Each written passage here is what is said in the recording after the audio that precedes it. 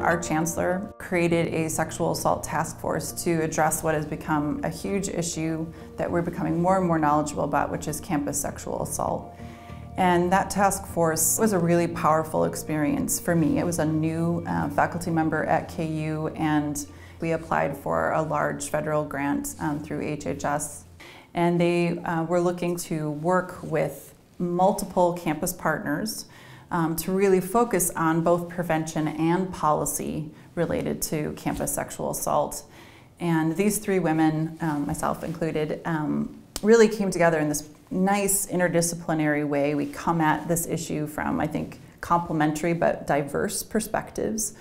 And I think that that team has been really exciting. This is the first year of that we received this grant, and so we work with eight campus partners two historically black universities, two faith-based uh, universities, large um, public universities, some small private universities, a commuter college, and we really have this opportunity to see how the approach that we're using, which is a public health, gender-centered, strength-based approach um, to working with campuses around prevention and, and policies related to addressing sexual assault on campus.